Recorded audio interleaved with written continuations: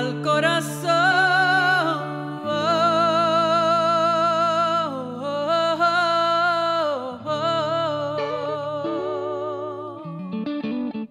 Hola mis amores, aquí con ustedes un martes más, un podcast más que compartiremos hoy. Gracias, gracias, gracias, gracias por decidir estar este ratito conmigo. Y quisiera, si me lo permiten, enviar un abrazo a, mis compañeros del camino, a todo mi equipo de trabajo, mis músicos, técnicos y colaboradores, en especial a, a mis amigos, a mis hermanos de Witchy Sound, quienes siempre han sido mi familia proveedora de sonido, apoyo y amistad en, en todas mis presentaciones por, uf, por muchísimos años. Eh, por la repentina partida de nuestro amado Eric Rivera, eh, mejor conocido como Bomba por nosotros. Eric mmm, falleció en un accidente cuando se dirigía a su trabajo en el área metropolitana. Siempre lo recordaré porque era un hombre trabajador y solidario, este, incansable y, bueno, buena gente. Eh, Bomba era pilar tras bastidores y, una de las caras que constantemente siempre vi en mis espectáculos. Eh, a su familia y amigos, nuestro abrazo de consuelo y a nuestra familia del camino, eh, todo mi amor del bueno. Y a Wichi, pues seguramente Coco lo recibió y desde ahí estarán supervisando nuestro trabajo acá en la tierra. Dios te cuida y te recibe, bomba. Gracias por tu amor y por tu dedicación, baby. Siempre, siempre te vamos a llevar con nosotros. No queda el más pequeño espacio, ni siquiera el más absurdo llanto. Y yo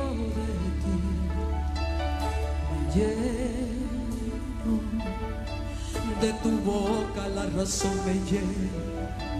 En tu cuerpo es claro que me pierdo y grito así. Detengan a la vida que se va tan deprisa, se escapó el ayer y se va lo que fue hoy.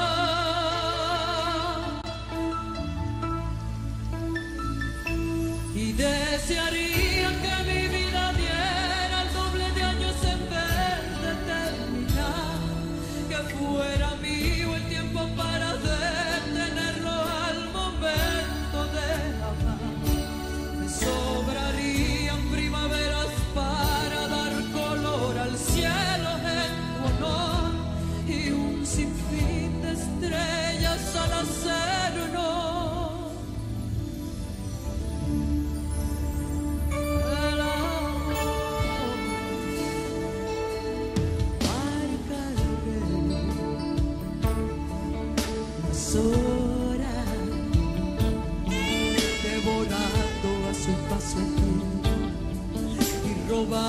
imágenes, momentos.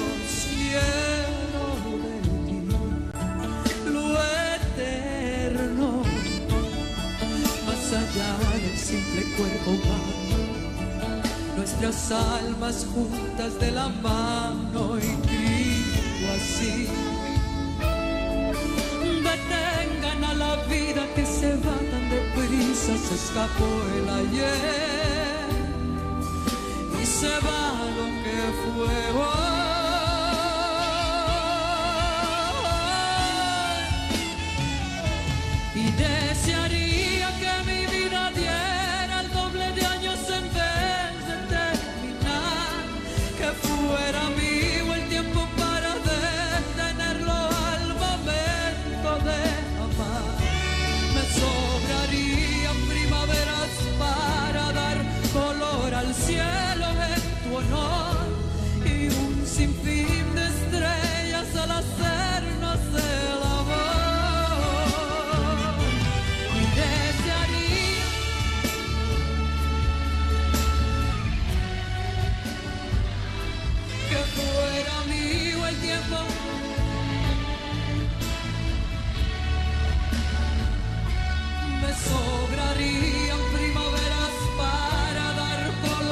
Cielo en tu honor y un sinfín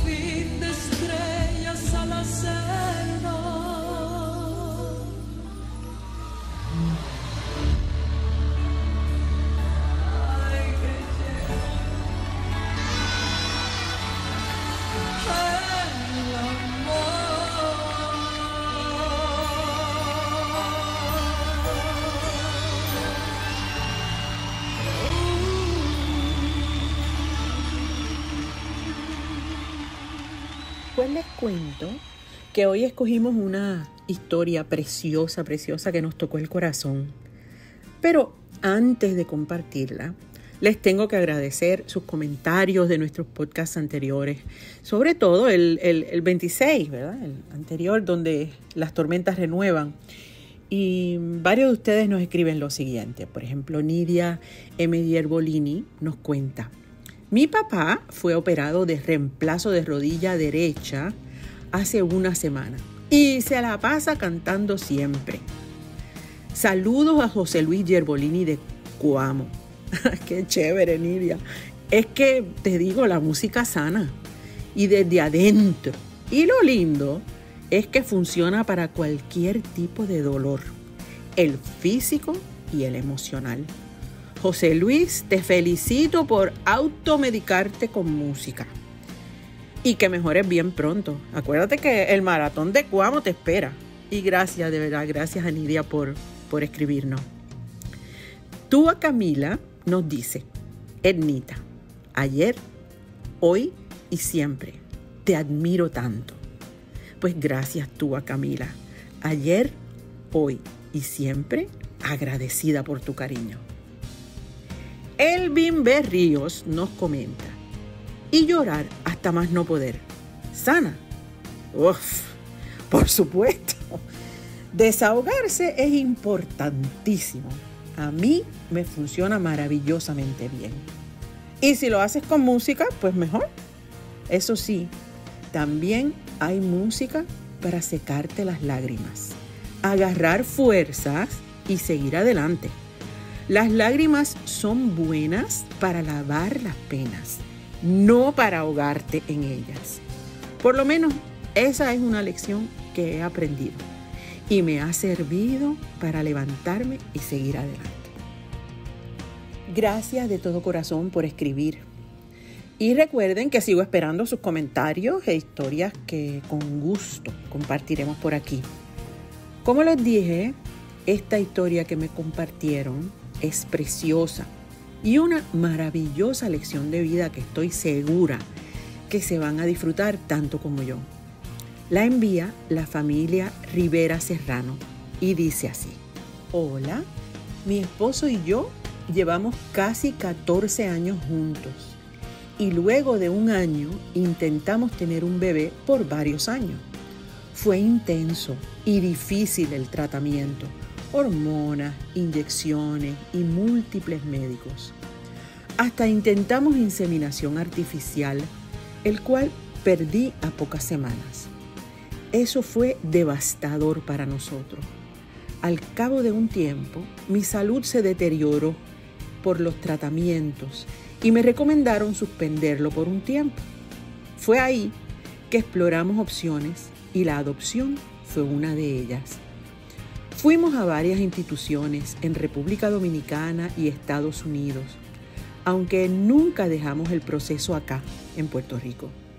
Dos años más tarde, decidimos poner todo en espera, salir de vacaciones y disfrutar unos días para recargar la mente y tomar nuevas decisiones.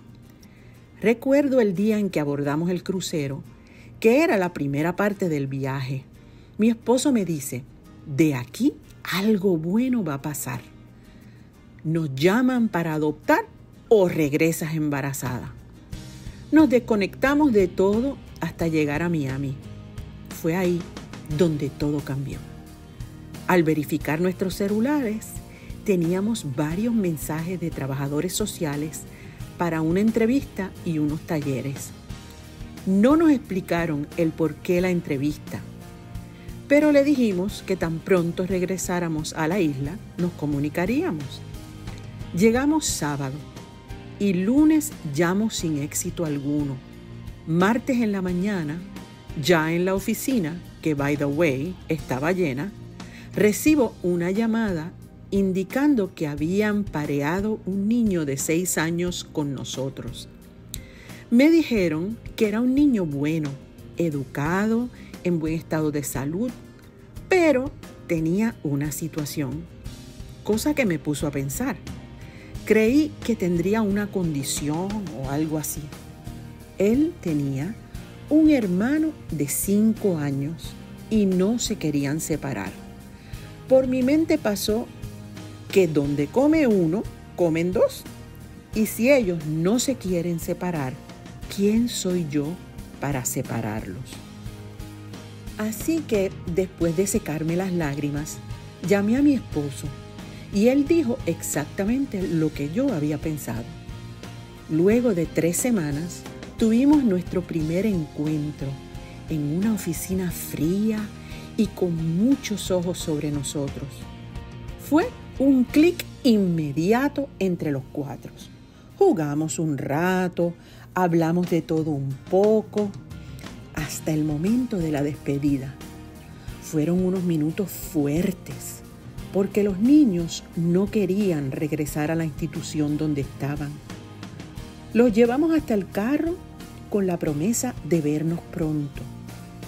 Días más tarde nos informan que nos darían un pase para un fin de semana para que ellos estuvieran en la casa con nosotros. Llegaron a casa por cuatro días y nunca se fueron. Nos extendieron el pase por 10 días, luego por 15, por 30, hasta firmar el convenio preadoptivo. Pasaron nueve meses hasta que tuvimos la visita de adopción. Desde ese día, oficialmente, somos la familia Rivera Serrano. Ya han pasado siete años y los chiquitines que llegaron a cambiar nuestras vidas son dos adolescentes bellos, cariñosos, respetuosos y creyentes en Dios.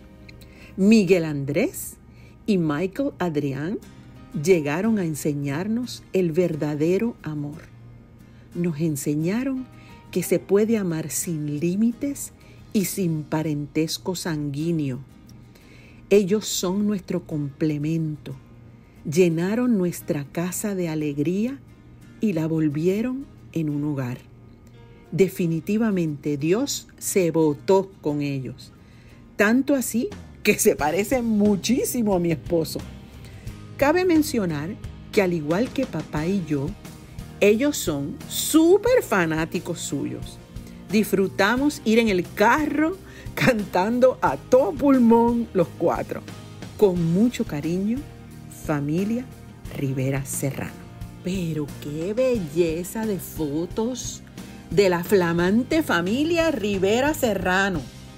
Y qué historia tan hermosa la de ustedes cuatro. Es que mm, cuando le damos espacio al amor en toda su expresión, cuando abrimos nuestro corazón y enfocamos esa energía de dar, de darnos a otros seres humanos, que el universo pone en nuestro camino de distintas maneras, se dan estas experiencias, estos regalos de amor multiplicado. Porque cuando damos amor desde nuestro más profundo ser, ese amor crece, se agranda, se multiplica. La conexión que podemos lograr con otros seres humanos, en el caso de esta familia, es tan poderosa que rediseña propósito y misión. La vida de esta pareja tomó otro sentido más grande que ellos mismos para conformar una nueva propuesta. Ese amor entre ellos, el amor y el sueño de ser padres, los llevó por ese camino incierto y difícil.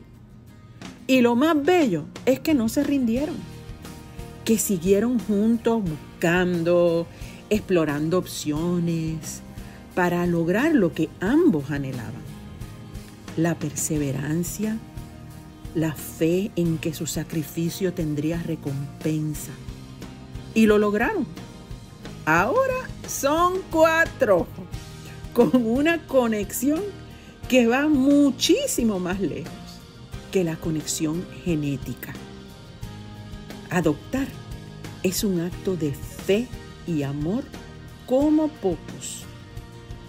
Es escoger ese camino incierto de criar, de integrar otro ser que no nació de tu cuerpo físico y hacerlo con el compromiso de dar amor.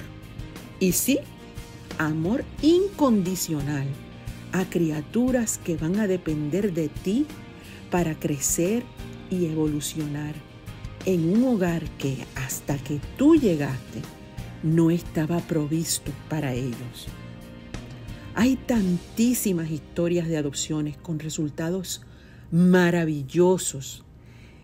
Tengo amigos entrañables que son parte de esas historias. Amigos que encontraron un hogar donde crecer y evolucionar, porque hubo seres como esta pareja que abrieron su corazón y su hogar para darles una familia donde crecer y evolucionar. Es conmovedor escucharlos eh, contar sus historias y ver cómo aún después de tantos años se les aguan los ojitos cuando cuentan cómo fue que llegaron a conformar esa nueva familia. Las peripecias de, la crianza, de la adaptación de ambas partes, eh, las batallas y los logros de ambos lados. Y es que los que somos padres también sabemos que engendrar tal vez es la parte más fácil de procrear. Lo difícil y comprometido, lo verdaderamente valioso es la crianza. Es nutrir a esos seres indefensos que llegan a nuestros, a nuestros brazos y guiarlos con amor a que construyan su vida productiva para ellos y para nuestras sociedades. Es un verdadero compromiso a largo, larguísimo plazo. Es reconocer que nuestros hijos vienen a este mundo para forjar sus propias vidas, que estamos como, como custodios de ese ser, que no somos dueños ni de sus voluntades ni de sus vidas. Son seres humanos que ocupan nuestro espacio temporeramente. Está en nosotros prepararlos para que vivan a plenitud, con nuestra guía inicialmente, pero con la esperanza de que puedan pararse por sus propios pies y convertirse en seres humanos completos, íntegros y de criterio propio. Y entender nosotros que cuando crecen se llevan nuestro amor y enseñanzas en la maleta. Que lo que sembremos en ellos germinará como y cuando tenga que germinar. Que lo verdaderamente valioso de ese lazo se enseña y se aprende de ambas partes. Siempre digo que mi hija ha sido mi mejor maestra de vida.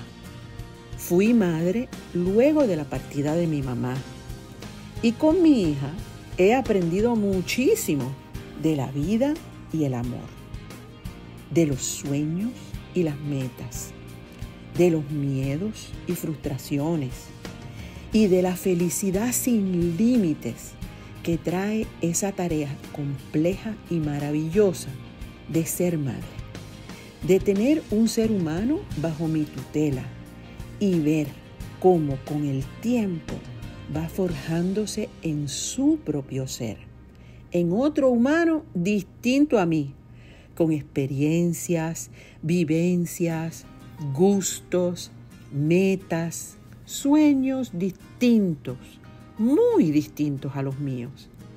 Y estoy bien con eso. Está bien que sea así, Es más, es lo que yo quería lograr. Mami me quiso enseñar a ser independiente y responsable. Y creo que lo logró. Éramos muy distintas. Su crianza, su entorno, fue muy distinto al mío. Lo sabía. Y navegó esa diferencia con mucha sabiduría. Nunca la escuché renegar o quejarse de la diferencia de sus tiempos y los míos. Bueno, una que otra vez me contaba de su infancia y lo que hacía con sus amiguitas en el barrio donde se crió. Y sabemos que de ese cuento no nos salvamos en ninguna generación. Lo que mi madre sí me enseñó fue el valor de la ética de vida, la importancia de ser un buen ser humano, de ser generosa con los demás. Y más allá de sus palabras, estaban los hechos. No me tenía que decir mucho. Con observarla bastaba. Aunque teníamos conversaciones interminables, verla, observarla cómo vivía, cómo se comportaba ante los retos de la vida, fue mi mayor lección. Y eso lo aprendí observándola. Con esto lo que quiero proponer es que criar es la clave. Dar ejemplos es la clave. Nunca subestimarnos ante la influencia que podemos ejercer sobre nuestros hijos. No en palabras, en hechos. ¿Qué es una lotería? Y que no siempre hay resultados positivos. Por supuesto. Nada es garantizado. Ningún resultado es garantizado. Es muy difícil vivir esperando que todo salga perfectamente bien. Pero lo que sí he aprendido es que el ingrediente más importante para lograr cualquier resultado positivo en la vida y en la vida de nuestros hijos, genéticamente nuestros o no, es el amor y el respeto, no solo de ellos a nosotros, sino de nosotros a ellos. Felicidades a esta familia tan bella, los Rivera Serrano, y a todas esas familias tan diversas que se heredan, se escogen o se conforman en el compromiso maravilloso de caminar juntos en esta aventura llamada vida.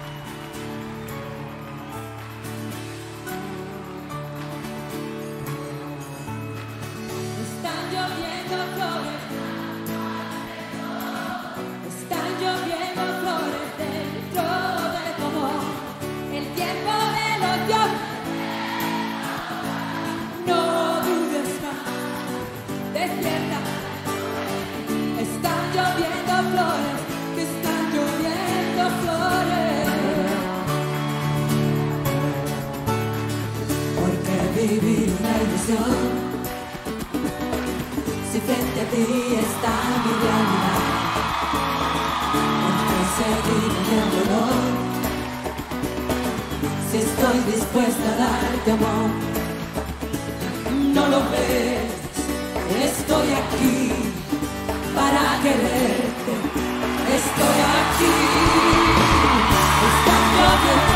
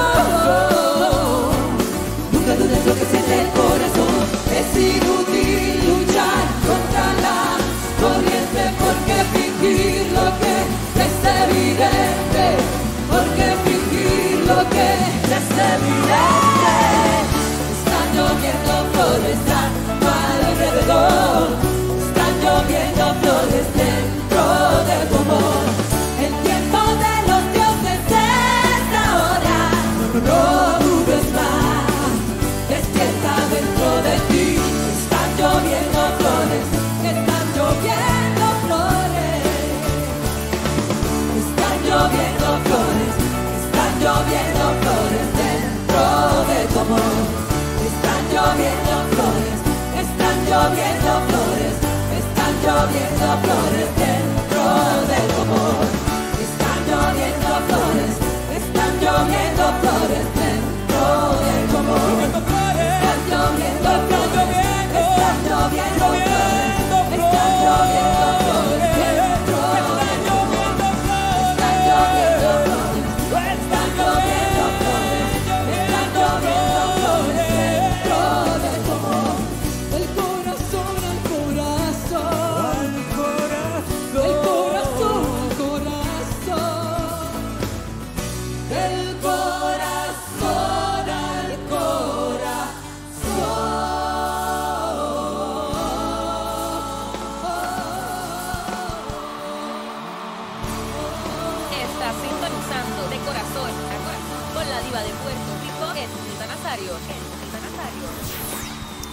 bien, mis amores, una vez más, gracias, gracias, gracias por acompañarnos y no se olviden de escribirnos y compartir sus comentarios o historias a www.etnita.com slash de corazón. Los leo con muchísimo cariño y quién sabe, tal vez tu historia será la próxima. Y no me despido sin antes recordarles que tenemos una cita, bueno, dos citas en noviembre, el 19 y el 20 de noviembre, para ser exactos, en mi concierto La más loca, la más bella, en el Coliseo José Miguel Agrelot, mi choli, mi casa. Pueden accesar boletos a través de etiquetera.com. Y también los invito a que nos sigan en nuestras redes sociales de Facebook, YouTube, Instagram, Twitter, Spotify, etcétera, etcétera, etcétera, etcétera. Les amo y les espero la próxima semana en su casa de corazón a corazón con Edmita Nazario.